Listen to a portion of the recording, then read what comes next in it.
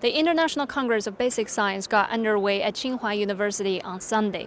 This event brought together domestic and international leaders and new talents in mathematics, theoretical physics, theoretical computer and information sciences for academic discussions and exchanges. Over 500 lectures and presentations will be held in a two-week period in an exchange of ideas of the highest caliber. The event is chaired by acclaimed mathematician Shing-Tung Yau. He says he's delighted to have so many outstanding researchers gathering in Beijing.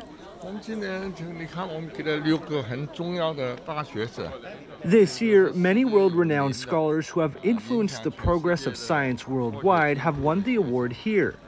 Basic science first requires truth, and secondly, pragmatism. We not only hope that it will promote academic research, but also expect it to be applied. However, only by seeking truth can there be applications. The prize that Shing-Tung Yau is referring to is the Basic Science Lifetime Award.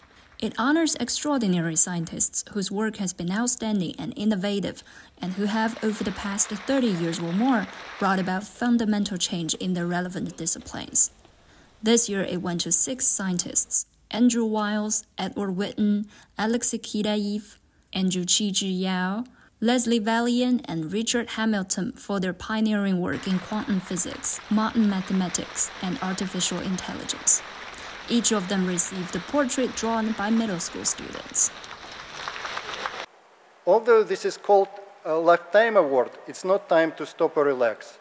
I look forward uh, to new challenges and hopefully to new puzzles solved.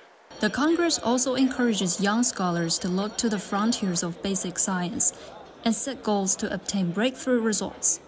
Over 130 academic papers from 20 countries and regions received the Frontiers of Science Award in 2024. I'm happy that there is this idea of giving many prizes and prizes uh, not only to individual mathematicians but to papers. I'm glad that plenty of people, including young people, get this award. Over the next two weeks, the second annual Congress aims to go further and achieve more than the inaugural event last year. It's all part of a vow by China's government to create a better and more open environment for international scientists to carry out cooperative research in fundamental sciences. 刘嘉欣 CGTN 北京。